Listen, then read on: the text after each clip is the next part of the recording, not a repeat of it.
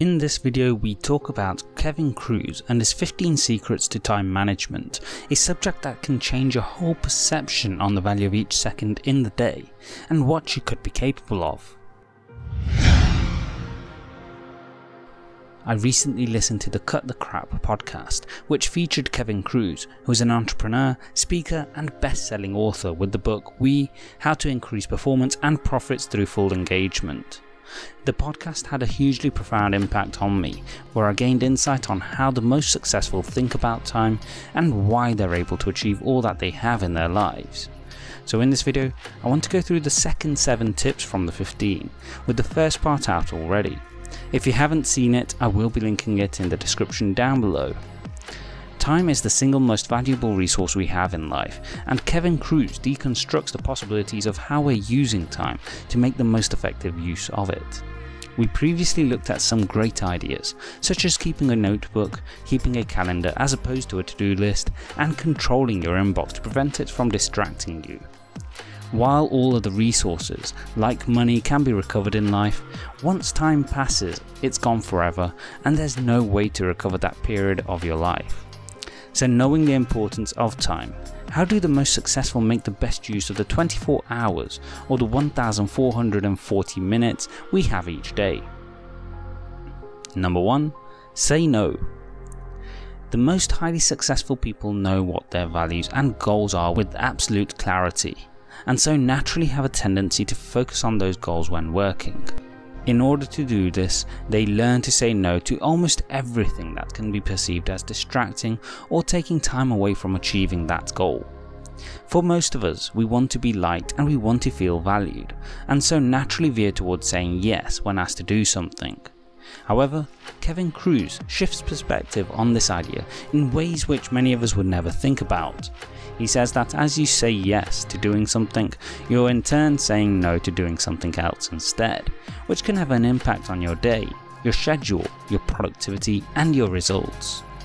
If you have valid and genuine reasoning to saying no, then you need to learn to say no to make the best use of the time you have in your day. Number 2. Use the Pareto principle. The Pareto principle is also commonly known as the 80-20 rule, whereby 80% of the results you get come from 20% of tasks. Often, by focusing on that 20% of tasks, you can garner the most effective results. This isn't necessarily to say to ignore the 80% of tasks left over, but rather make judgment calls on how necessary it is to fulfill those tasks. In some cases, despite the lesser gain, it may be necessary to complete a task where the details make the difference. In most cases, the tasks are unnecessary and it's beneficial to move on to the next 20% of tasks that get 80% of the results. Do this by listing out the tasks and identifying the most important 20% of them. This may take time to do to identify which get the results, but doing so can be invaluable in the long term. Number 3. Focus on strengths and passion.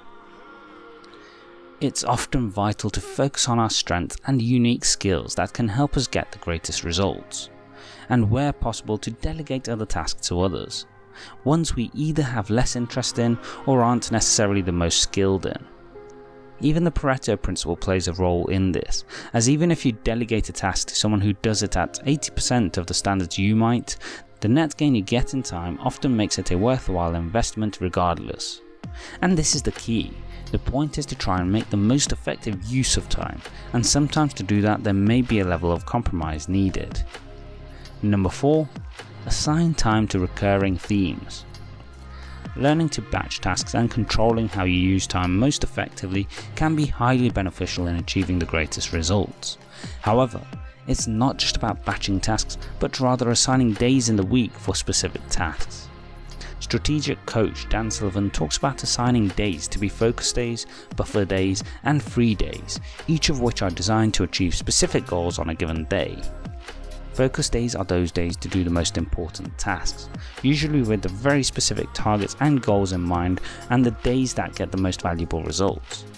Buffer days, or admin days as I like to call them, are days to focus on additional tasks, such as replying to emails or doing other less urgent but important tasks. Free days are rest days, time you spend doing other things to either recuperate or dedicate towards other important aspects of your life, such as spending days with your family.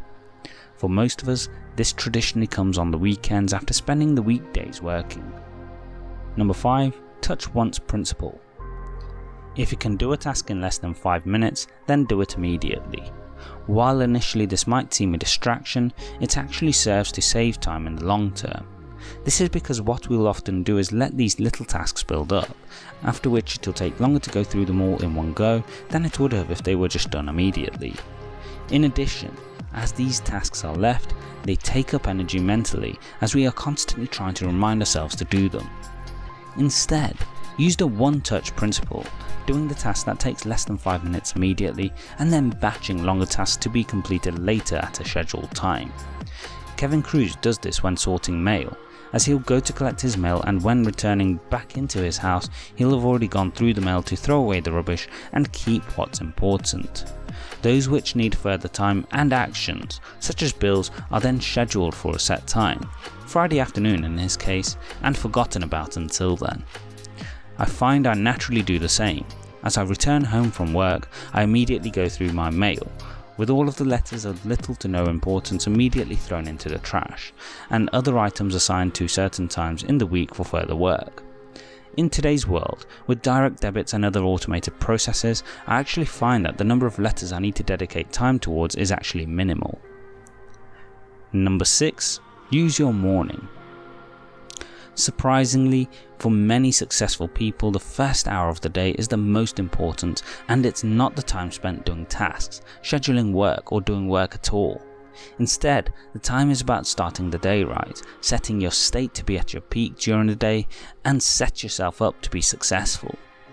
Personally, I follow the Tony Robbins morning routine, whether it be his 15 minutes of fulfillment, 30 minutes to thrive, or hour of power. I found his routine is empowering, motivating, and gets me ready for a phenomenal day ahead. Whether you follow this specific routine or have your own, the key is to make sure whatever the routine, it needs to set your state to make the most of the time you have in the day. Number 7 productivity is about energy and focus. Those who are all hustle and don't take breaks might actually be hampering their productivity as a result. What you don't want is to find you are a constant in how you work. You need to use your energy in focused bursts, with breaks in between to help you recuperate and work more effectively in the next round of work. Think of it like a high intensity interval training workout, or HIIT, whereby the idea is you work out at high intensity for a set time, before taking a short rest before the next round. This helps you gain greater benefits from the workout in a shorter space of time, rather than working out at a constant for a set period of time. The same applies to the brain and how you can achieve the greatest results. It's not about working 24 7, it's about working in a way that gets the greatest results. One method to do this is to apply the Pomodoro technique, whereby you work in 25 minute intervals and after each interval you take a short few minutes break. When you do 4 Pomodoro, you grant yourself a longer break to recuperate. Kevin Kruse has found billionaires manage time in ways which are strategic and most effective, not necessarily just working hard at a constant, as is often pushed by many people today. To get results, you need to work hard, but more important is to work smart, utilizing the 1440 minutes you have in the day to the maximum. Use these tips, if not all, then at least some, to use your day like the most successful. Which of these tips do you already apply or intend to apply in your life? Let me know in the comment section below. Check out the other part of this video as we see the first 8 tips from the 15 from Kevin Kruse to help you utilize your time like the most successful people in the world. If you enjoyed this video, please let me know with a like, consider sharing this with friends and subscribe as we aim to help people live life on their terms by providing practical advice through inspirational content. Thanks for watching.